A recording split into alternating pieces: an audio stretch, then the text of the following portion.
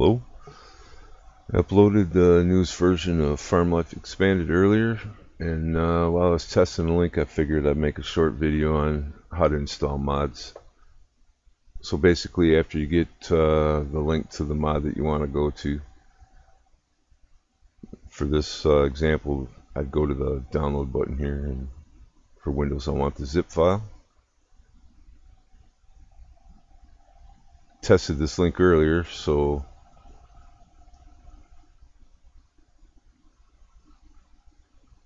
it'll show up here. You can just delete that. I'm using Mozilla Firefox, so this is how you do it with that. Shouldn't take too long. It's about 580 megabytes.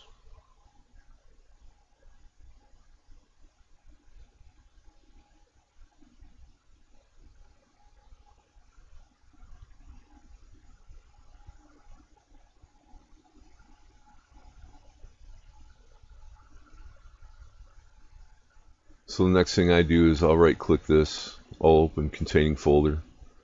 I'll go to the file that I just downloaded. I use 7-zip, so I'd right click it.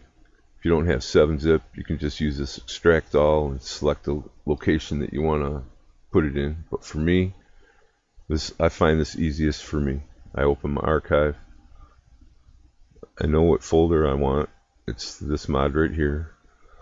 I've already prepared my dedicated server and my client. What I'll do for that is I'll make a copy from my original and I'll place it someplace else. I'll make my mods folder. Double click this. Come back to my download. Grab my file. Drag and drop. I'll repeat that for the client as well.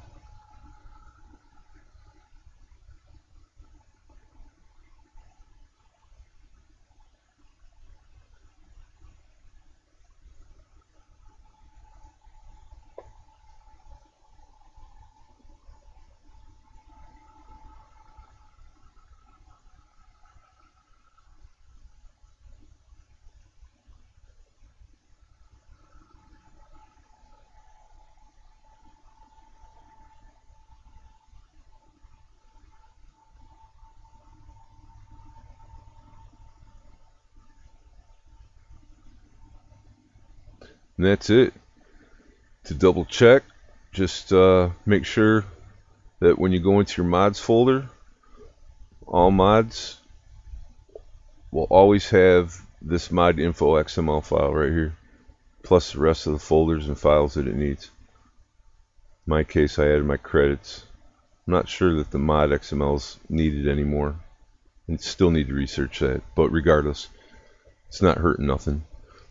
Um, Okay, so the rest of this video is all going to be just me starting up my server just to make sure there's no errors.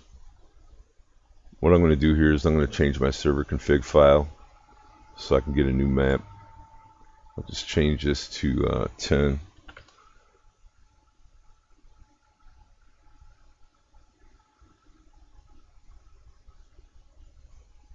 Come back to my batch file, start up from there.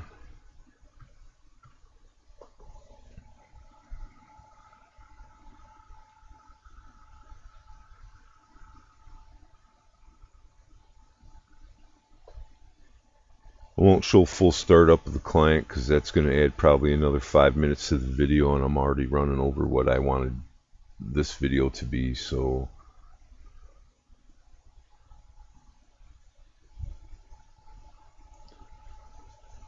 I think I have this set up for server window to come up once it's started. Alright, there we go.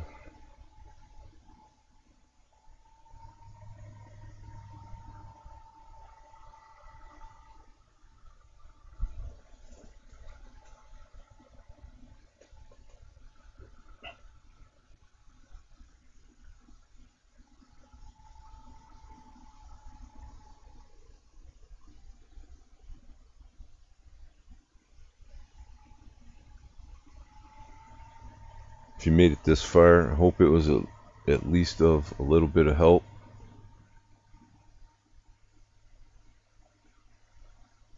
I know I see this question asked a lot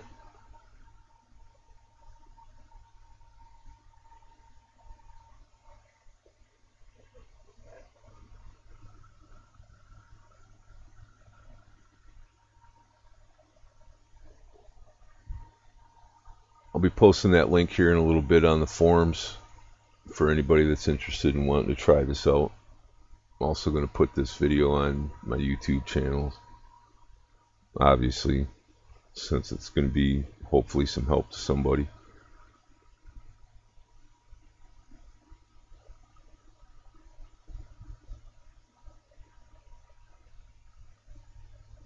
Shouldn't take too much longer to finish startup here.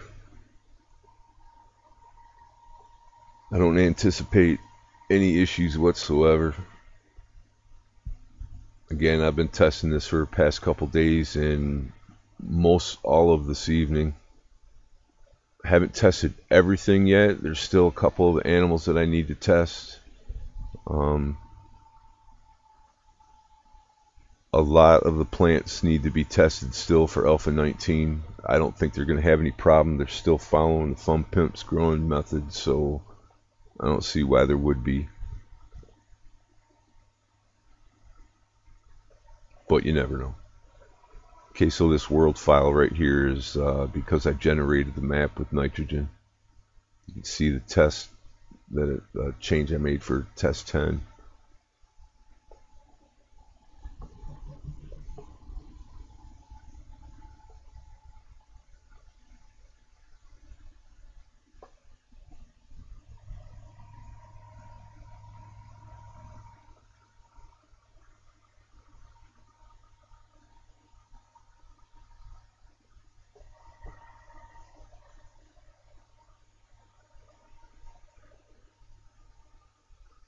And there you go. Full server startup. No errors. Farm life expanded.